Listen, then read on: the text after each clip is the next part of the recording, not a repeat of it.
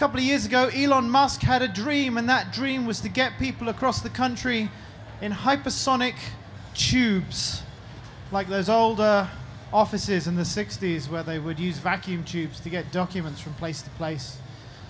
And joining me on the stage now are three people who are turning that dream into reality. We've got from Hyperloop One, Josh Giegel, co founder, head of technology, the man who's making the magic. I've forgotten your first name. It's Nick, Nick Earl. Earl. Nick Earl, Nick Earl. head of operations. And at the far end, Rob Lloyd, CEO.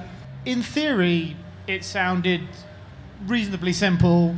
You know, build a tube, put a vacuum on one end, suck out all the air. Um, what have been the biggest challenges turning that from a theoretical concept into an actual thing? Well, it's cold out now, uh, and it's very hot in the summer out here, so it's fighting the environment a little bit has actually been a fairly large challenge. It's especially windy up north. But then, in terms of uh, just, we have an organization that less than t- two years ago was about four people, so we had to do all of this and you know build, acquire a test site, do the design, create the, the technology that goes into the design in an extremely short period of time. So it's been trying to do this, which on the surface seems really easy until you actually go do it. And that's, uh, that's what really sets us apart from everybody else is the fact that we can go to our test site and see it. In the next couple of months, however, it's, it's looking likely that you're going to have your first very big test uh, launch, your Kitty Hawk moment, um, just a couple of miles down the road in North Las Vegas. So, first things first, how far away are we? How's, how's construction going? It's going pretty well. I was up there this morning uh, before coming down here, and it's we've got a couple hundred meters of tube up at this point, and we're moving inside. Uh, the levitation, the propulsion systems are all coming in over the next couple weeks, and then uh, check out vacuum systems coming in very shortly. And uh, within a few months here, you're going to start to see some pretty interesting action. What was the biggest thing that gave you headaches in terms of just building this thing out? Right now, it's uh, it's having all the electrical components deal with the vacuum. So there's some interesting things that happen when you take high high voltage electronics and put them inside low pressure environments, and just making sure our system was able to robustly be able to work even in that scenario. How hard has it been to get, again, from the theory to the reality?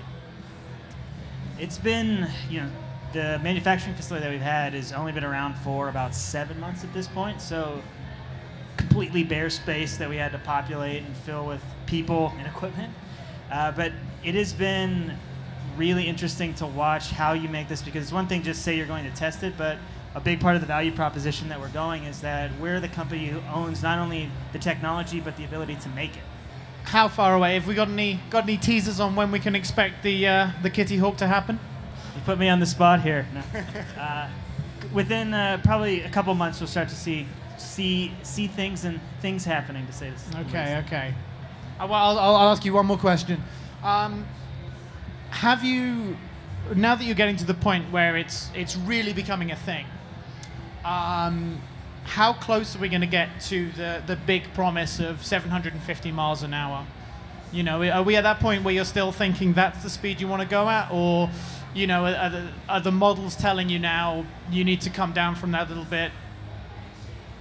The, biggest thing with the speed is the routes that we're going to get. So a lot of the routes that we're looking at are of first routes that are anywhere between 20, 50 miles long, and speed is an important factor on that. But the big part of what these routes are is just the beginning of a bigger route.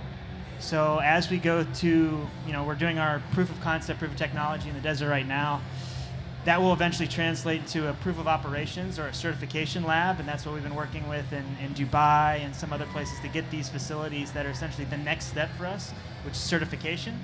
And that, that means you're allowed to ride it, and governments let their people or the citizens ride it and, because it's safe.